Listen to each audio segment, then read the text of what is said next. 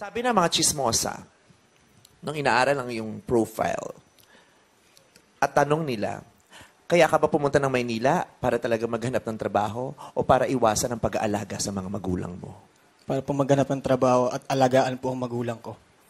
Kasi po, simula po nung bata ako, nakita ko po yung hirap ng mama at papa ko na hindi po sila nakapagtapos. Galing po kami sa hirap na pamilya. Ang papa ko po at mama ko ay late na po naging mag-asawa. Wala po kaming sariling bahay. Kahit saan po kami nakikitira. Sa mga kamag-anak namin, nakikisama kami. Nararanasan din po namin na umuupa po kami, na wala na po kami pambayad ng upa. Kaya po, kinalakihan ko po yung pananaw na kailangan ko pong tumulong sa pamilya ko. Lalo na po yung mga kuya ko na hindi na rin po sila nakakatulong po sa mga magulang ko dahil maaga po sila nakapag-asawa. So ngayon, ang kasama niya sa bahay, hindi ikaw. Sino nag-aalaga sa kanila? Si mama ko po, siya po mag-isa. Ang papa ko po nasa bukid po. Okay. At ah, sinabi mo daw na gagawin mo ang lahat para lang maitaguyod ang pangangailangan. Totoo po yun. Ikaw ay nagkaroon ng girlfriend. Totoo po. Gano'n kayo katagal? Mag one year po kami. Mayaman daw yung naging girlfriend mo. Totoo ba? Hindi kaya po siya. Anong kaya niya? Kaya kanyang buhatin? ano? May kaya po siya sa financial, ka- hindi po katulad ko. Oh, so. Tapos, anong nangyari? Bakit wala na kayo? Ah, iniwan niya po ako. Hindi, Bakit daw? Hindi po niya sinabi sa akin ang dahilan. Pero, oh my God, parang kilala ko yung sinasabi mo. hindi, hindi ka nalang kinausap? Opo. Oh my God. Ganun po. Jowa din ba ng lalaki yun? Ano, lalaki ba yung jowa mo? Babae ah, po. babae. Babae po. Okay. Ah, bali, magkababayan din kami. Anong pangalan ng jowa? Je, Gemma? Di ba? Ano? Joy. Ah, titi mo, June. Joy. Joy. June. Joy.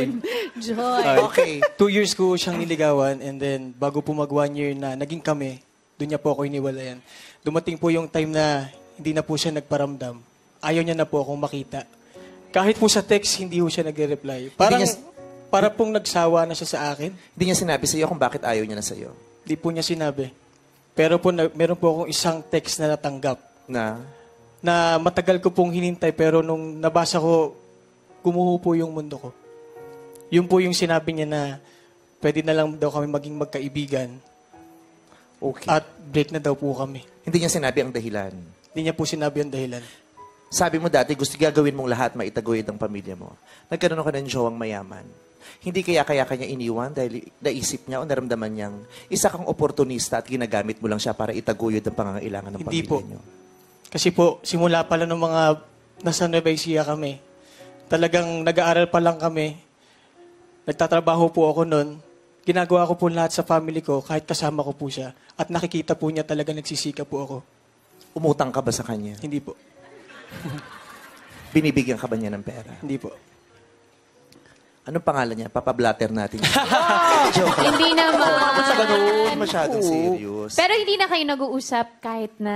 After po nun, wala na. Mm, As wala in, na talaga. As in, no communication Kahit post at sa all. Instagram, wala. Ah, hindi mo tinanggap yung pagkakaibigan.